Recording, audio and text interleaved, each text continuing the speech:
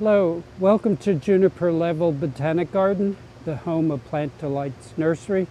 We're looking at um, Amorphophallus hybrid named John Tan, named for a gentleman who was a big supporter of producing Amorphophallus hybrids. Um, John Tan, his first and I guess middle name, was a Singaporean and um, this was named in his honor. It's the very first hybrid between Amorphophallus titanum. Now, this is a pretty big inflorescence, but it's nothing compared to the Amorphophallus titanum.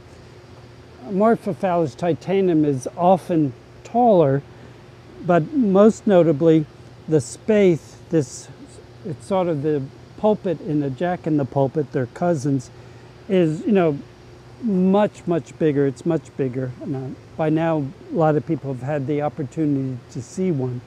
But it is interesting because it is a hybrid between titanum and another Amorphophallus um, species, Amorphophallus variabilis, meaning to varied. So I'm not sure if the flower is fading. Yes, two days ago it was looked more like this. It's certainly fragrant in a corpse sort of way, but it's far from being an overpowering uh, stench.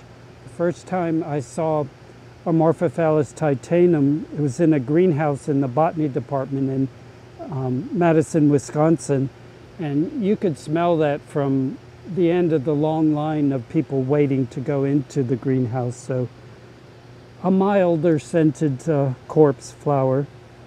Um, and I'm calling it an inflorescence, which is a botanical term to mean a whole cluster of flowers. If you think of a tulip, a tulip is one flower. But the uh, Amorphophallus, which is in the uh, aroid family, a huge family, mostly tropical family. Um, I don't know how well you can see down there. The upper, well, let, us go back one step. The spathe is this modified leaf that sort of is acting like a petal. Yeah, the, the central spike in the flower is the spadix. Um, the upper part from here up, I believe, is primarily serves the purpose of producing uh, lovely perfumes. And then the lower part has male flowers up top and female flowers down below.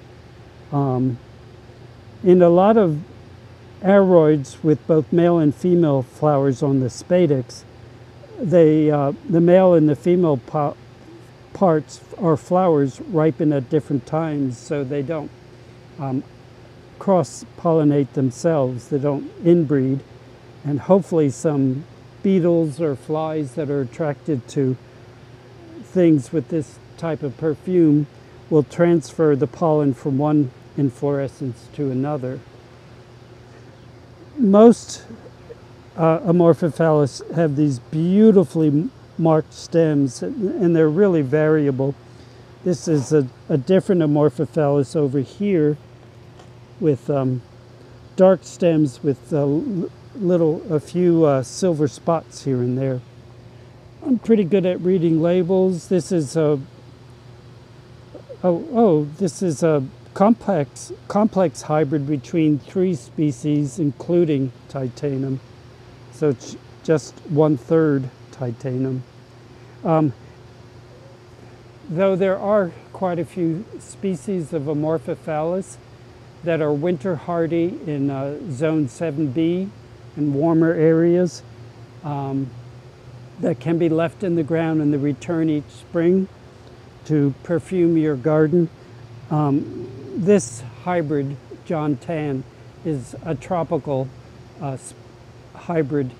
Um, I don't know the species variabilis, but, but titanum is certainly tropical loving steamy hot summer weather.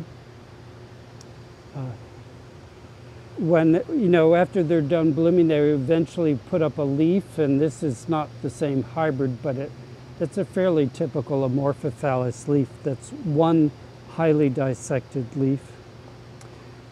Well, I hope you found some interest in uh, this hybrid Amorphophallus. Hope to see you again in the garden.